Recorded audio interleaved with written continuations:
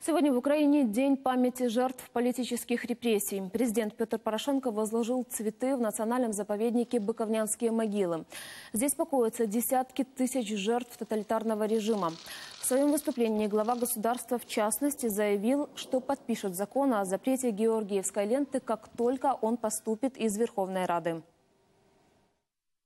Це не є символіка Другої світової.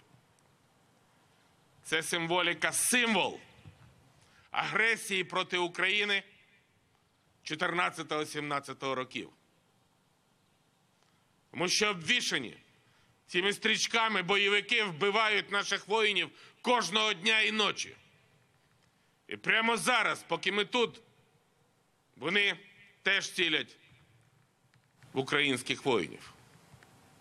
І врешті-решт, на жаль, ця Росія своєю політикою по відношенню до України сама поставила цю стрічку поза законом.